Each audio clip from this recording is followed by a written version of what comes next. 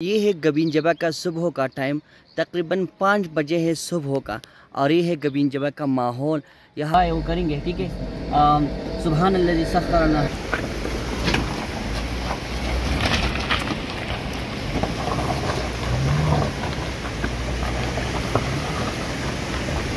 आखिर दम हम आगे पहुँच गए। वालेकुम वरहमतुल्लाहि वबरकातुहू। हमने प्लान बनाया है गबीन जबा का। अब हम मिंगौर सिटी में मौजूद है रहीम खान, उबैद यासीन और जो दूसरा यूबी यासीन है। दोनों यासीन एक साथ बैठे हुए हैं, पता नहीं कि क्या हो रहा है। मिंगौरा सिटी हाजी बाबा में मौजूद है। इन ताला रास्ते पर दूसरी जगह भी आपको दिखाएँगे। और जगह गबीन जबा पहुँचते ही भी आपको हम सारा जो गबीन जबा का इलाका है दिखाएँगे। इससे पहले हम जो सफ़र के दवा है वो करेंगे, ठीक है? सुबहान सफ़रनाकुन्नाकुन्ना व इन रबिना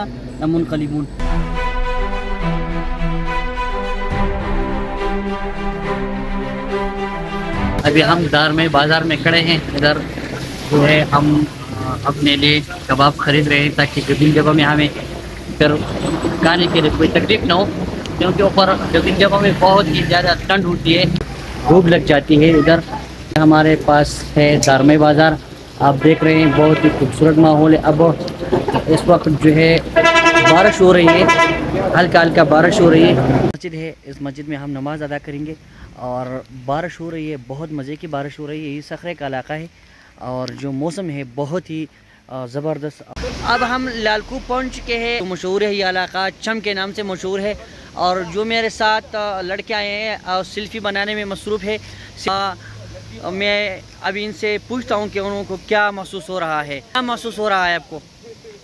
ये तो बहुत अच्छा वो थोड़ा सा ऊँचा बोलो। बहुत अच्छा, अच्छा हाँ हाँ यासीन आप बोले हाँ।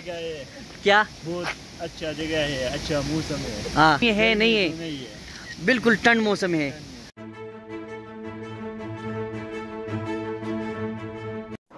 इससे आगे रोड बहुत ही ख़राब है। आगे जाकर आप लोगों को मैं दिखाऊँगा कि बहुत से गाड़ी इर्द गिर्द खड़ी होंगी। जो लोगों से पाँच से लेकर आठ हज़ार रुपये लेते हैं और ऊपर ले जाते हैं, जो बहुत ही ज़्यादा है। लेकिन हम वहाँ पर जाकर आप लोगों को दिखाएँगे कि हम अपनी गाड़ी ऊपर ले जा सकते हैं या नहीं जा सकते। से जो है बिल्कुल जो सही रोड था, पक्का रोड था, ख़त्म हो चुका है। इसके बाद आप यहाँ पर गाड़ी खड़ी करेंगे या इसके बाद अगर आप ऊपर जाना चाहते हैं तो मैं सिर्फ़ आपको ये बात बताना चाहता हूँ कि आपके पास अगर फोर व्हील गाड़ी ना हो तो इसके बाद आप नहीं जा सकते। रोड इससे आगे बहुत ख़राब है। आप नोट कर ले कि इस जगह से आगे जाना जो है फोर व्हील गाड़ी के बगैर जाना मुमकिन नहीं है आ, पार्क तक पहुँचने के लिए। तो इसके आपको फोर व्हील गाड़ी आ, होना चाहिए। मैं तो रश जिप मेरे साथ है। मैं तो कोशिश करूँगा कि मैं ऊपर ले जाऊँ। अल्लाह ताला खैर कर दे आप। दुआओं में याद रखें।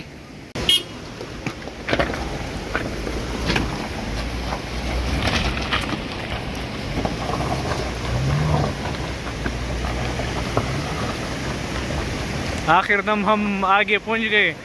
अब वहाँ से अब हम गबिन जबा के जो एंट्रेंस है इसमें हम दाखिल हो चुके हैं। इधर आप बोर्ड पर देख रहे हैं trout view hotel and restaurant दो तीन जगहों में हमारा गाड़ी जो है पंच गया था। हम बहुत मुश्किल से निकल आए।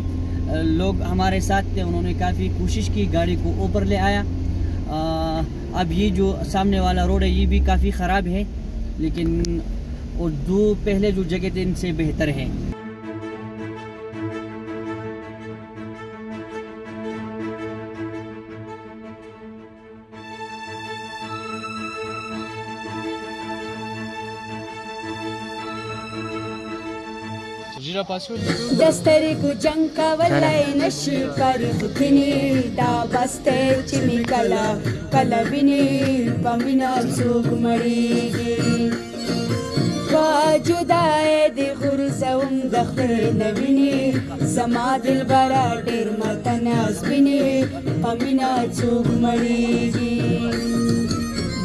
दोस्तों, ये है गबीन जबा का सुबह का टाइम तकरीबन पाँच बजे है सुबह का। और ये है गबीन जबा का माहौल। यहाँ पर मुख्तलिफ़ जगहों से आए हुए लोग बाहर बैठे हुए हैं, अपने टेंटों से और इन्जॉय कर रहे हैं। पहाड़ों पर जो बादल और पहाड़ों की जो चोटियों पर जो खूबसूरती है सुबह की टाइम पर, मैं आपको बयान नहीं कर सकता, लेकिन आप स्क्रीन पर देख रहे हैं। मेरे जो अल्फाज हैं मेरे साथ नहीं दे रहे हैं कि मैं आपको क्या बताऊँ कि यहाँ की खूबसूरती यहाँ में बहुत ठंडा चश्मा यहाँ बिल्कुल साफ़ पानी है। लोग खाने पकाने बहुत ही ज़बरदस्त ठंड चश्मा है। और ये रबिन जबा का दरिया है। बहुत खूबसूरत और ठंड माहौल है। सर अस्सलाम वालेकुम सर आप कबिन जबा है आपकी क्या तसुरत है? वालेकुम अस्सलाम वरहमतुल्लाहि वबरकातुहू। यासीन साहब गबिन जबा हम आए हैं, कल रात हम इधर पहुँचे माशाल्लाह बहुत ही खूबसूरत जगह है।